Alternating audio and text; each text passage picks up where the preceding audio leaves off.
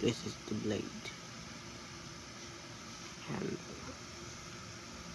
guard.